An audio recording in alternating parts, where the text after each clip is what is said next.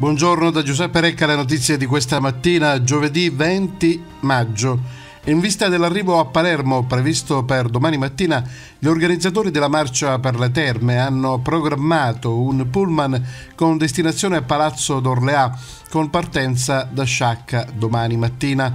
Chi fosse interessato a partecipare informano i promotori chiami il numero 388 07 61 230 Ieri sera la comitiva saccense guidata dal sindaco Francesca Valenti è arrivata a Corleone dopo una giornata molto pesante dal punto di vista fisico attraverso tanti sentieri dello storico cammino di San Bernardo Ieri non ci sono state ulteriori polemiche e dopo i fuochi d'artificio eh, con il presidente della regione Nello Musumeci che ha etichettato l'iniziativa eh, come speculazione politica Oggi è previsto nella marcia su Palermo il tratto Corleone-Missilmeri.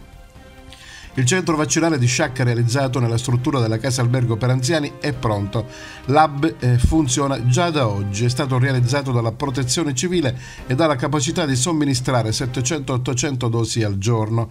La struttura dispone di aria condizionata, spazi di attesa anche all'aperto e sotto un porticato. Ci sono ampie sale d'attesa per la registrazione e la certificazione. Insomma, una struttura ben organizzata per questo tipo di importante attività.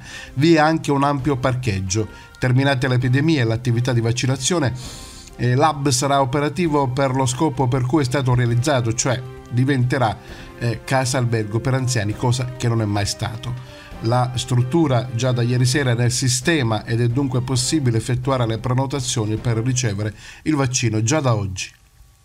Per un mancato risarcimento il Consiglio di Giustizia Amministrativa eh, della Regione Siciliana ha commissariato il comune di Sciacca. Si tratta della complessa vicenda processuale che aveva visto contrapposti i fratelli Francesco e Giuseppe Michalizzi in relazione alla realizzazione di un impianto di distribuzione carburante in via Verona.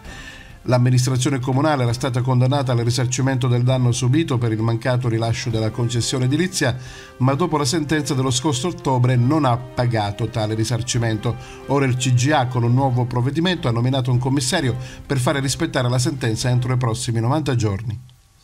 La giunta comunale di Sciacca ha autorizzato il sindaco a costituirsi in giudizio dinanzi al Consiglio di giustizia amministrativa per la vicenda dello scioglimento del Consiglio comunale per la mancata approvazione del rendiconto di gestione.